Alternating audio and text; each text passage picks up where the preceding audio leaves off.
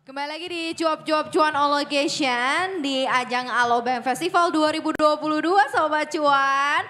Hari ini kita masih bahas mengenai auto sultan dari saham. Nah tadi kita udah ngobrol step awalnya masing-masing uh, investor, trader tuh punya cerita sendiri-sendiri ya. Dan kita nggak bisa juga mengcopy uh, cerita dari orang itu untuk menjadi bagian dari cerita kita. Nah Maria ini punya uh, survei nih ya dari uh, IG story di acuap underscore cuan. Karakter saham bank digital apa sih yang paling disukai oleh para sobat cuan? Jadi ini sobat cuan yang udah punya bank digital apa sih karakter yang disukai ya? Langsung aja kita lihat nih ya hasil dari IG story kita. Apa saja yang paling disukai oleh para sobat cuan dalam memilih saham bank digital ini dia nih ya. Oke, oke. Ini yang disukai masyarakat dalam menggunakan bank digital ini ya, bukan saham bank digital. Oke, mungkin ini kalau memilih bank digital karena bebas biaya administrasi, bebas biaya transfer dan juga uh, banyak promonya. Karakter saham bukan saham bank digital tapi bank digitalnya ya. Oke, kita uh, lanjutkan lagi deh ya karakter dari sisi uh, bank digital yang paling disukai. Mungkin nanti di, bisa ditongolin begitu ya karakter saham bank digital yang bisa disukai kalau dilihat dari sisi uh, prospeknya, kemudian juga karakternya bisa untuk jangka pendek atau jangka panjang. Nah itu mungkin bisa jadi salah satu pilihan. Nah saya mau ke Ko Michael. Ko Michael, kalau di awal ketika kita starting mulai uh, belajar saham gitu dan punya investasi saham, harus kita pisah-pisahin gak sih? Misalnya ini yang untuk kan uh, bursa kan menggalakkan nabung saham. Jadi saham tuh mindsetnya adalah untuk jangka panjang. Tapi ada cuan-cuan harian nih yang sayang banget kalau seandainya nggak diambil gitu kan. Biasanya gatel nih milenial. Nah gimana sih kita nih memaintain portofolio itu nih, Ko Michael? Uh, pertama di dalam portofolio, pertama uh, jangan pernah kita uh, punya hanya satu saham gitu. Jadi kita mesti punya diversifikasi. Jadi uh, harus kita bagi portofolio kita atau aset kita ke dalam beberapa klasifikasi sehingga ketika ada suatu saham yang sektornya sedang dalam keadaan jelek, yang lain itu bisa cover.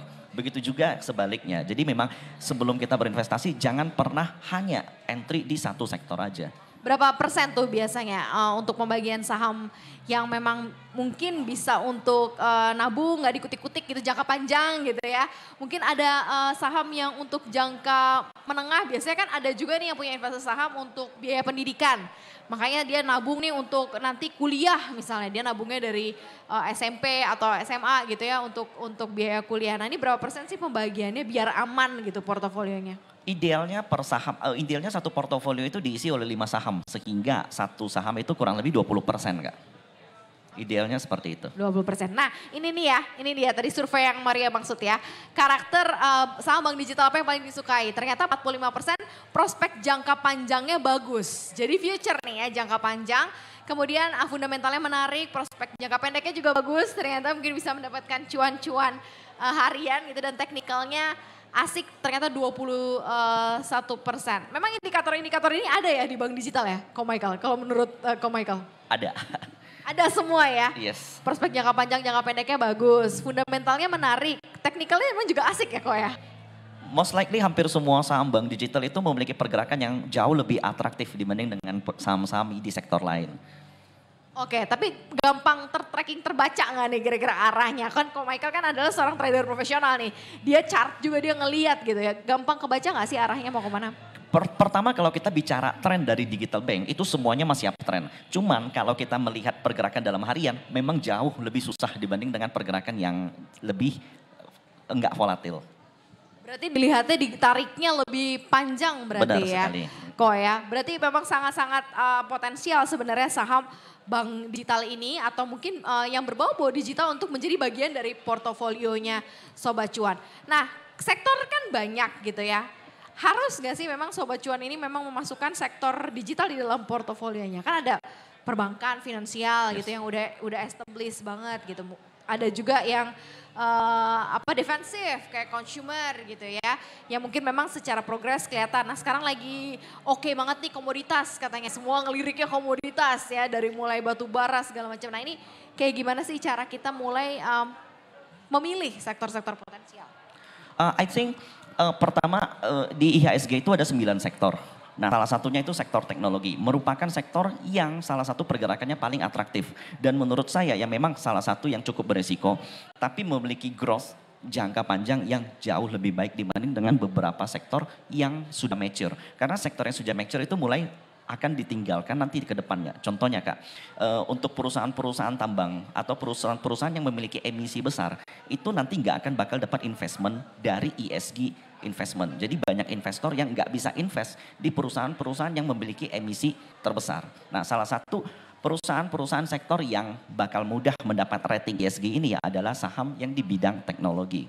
Oh oke, okay. ini menarik nih satu pengetahuan baru lagi nih aku dapetin nih kok terkait mengenai ESG ya. Nah saya ke Rio deh. Nah Rio ini kan uh, kita langsung aja bedah apa yang kamu lakukan dari uang 5 juta kamu itu menjadi 1,4 M. Pasti itu semua dari saham kan ya. Apa yang kamu lakukan, kemudian uh, cara-caranya gimana? Apakah kamu masuk terus untung kamu keluar, kamu gulung lagi semuanya, uh, kamu pilih berapa saham gitu. Nah, ini mungkin bisa jadi uh, gambaran juga untuk Sobat Cuan.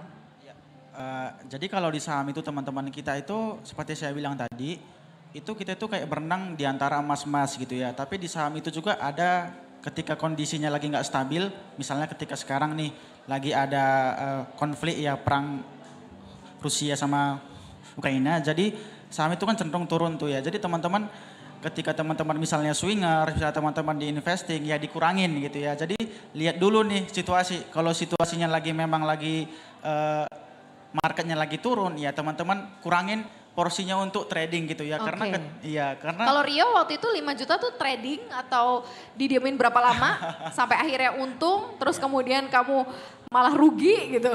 Jadi kalau saya sih bisa dibilang dinepin berapa lama itu pas awal-awal banget ya.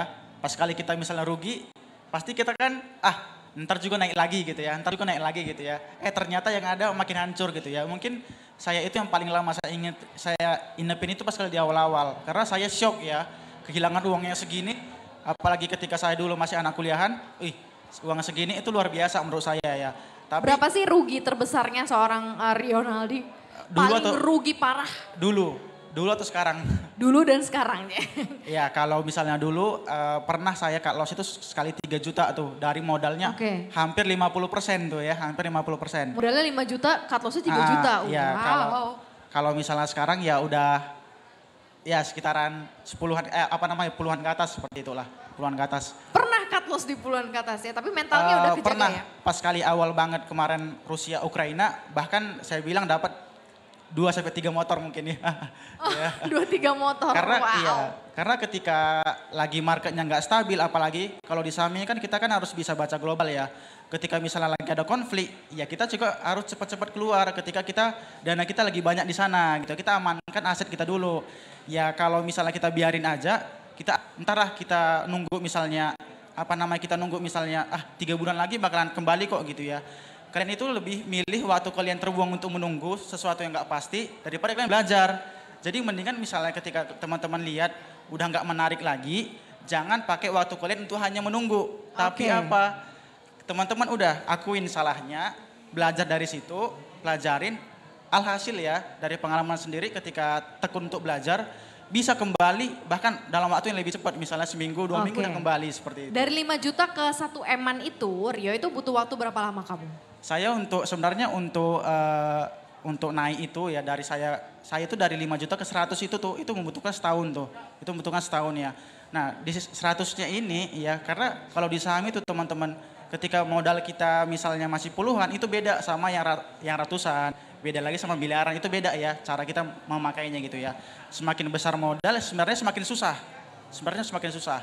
Jadi sebenarnya teman-teman pertama itu saya bu bukan pentingin modalnya ya, tapi ilmunya. Karena teman-teman misalnya kalau modalnya udah gede pun, tapi kalau ilmunya nggak ada ya sama-sama sama aja gitu ya. Penting banget saya rasa itu teman-teman mengelola bertahap.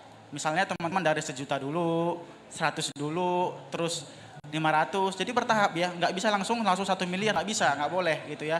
Nggak boleh seperti itu. Untuk kecuali modalnya udah ada memang basicnya ya. Benar. Misalnya teman-teman udah merasa ahli pun ya udah ahli. Aku udah tahu semua nih ya.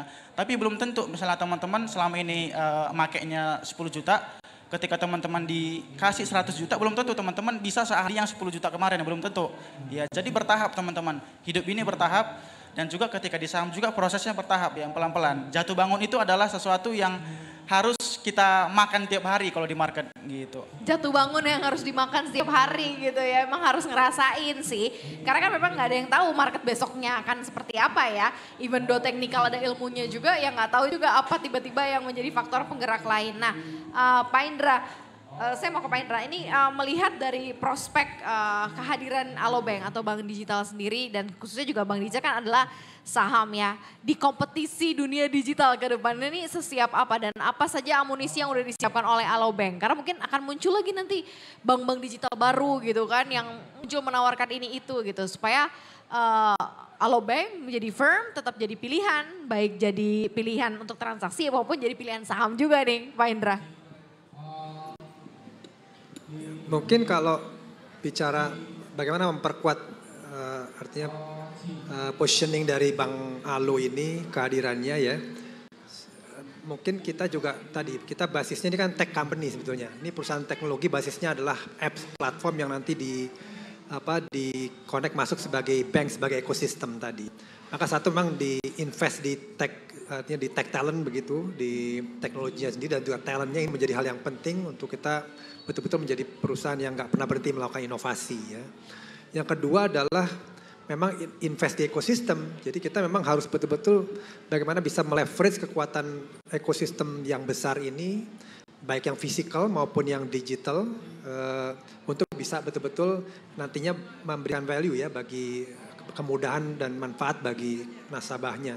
Yang ketiga memang kita invest di data, apa big data ya. Karena itu ke depan penting sekali kita hadir semakin bisa memberikan apa hyper personalization ya, semakin semakin relevan, semakin engage dengan customer sehingga menjadikan Alobank selalu relevan dan dipakai begitu. Itu yang tiga hal itu yang akan terus kita kembangkan sebagai kapabilitas masa depannya. Yang jelas sih loyalitasnya sudah diberikan ya, Alobank nggak tanggung-tanggung gitu, semua juga sudah disiapkan, ekosistemnya sudah disiapkan, pertempurannya tampaknya udah dengan berpersenjataan yang lengkap nih ya Alobank. Dan ini juga bisa menjadi pilihan uh, para sobat cuan juga, apalagi sahamnya, sahamnya juga udah dilihat nih ya dan juga dilirik jadi bagian uh, investasi. Nah setelah ini uh, saya mau lebih perdalam lagi uh, sama narasumber yang hadir, setelah tadi mulainya dari mana, terus harus pakai uang dingin, tadi udah dijawab ya, terus kemudian pilihan saham saham juga presentasinya sudah jelas gitu. Mau yang memang fundamental bagus dari sisi sektoral juga sama.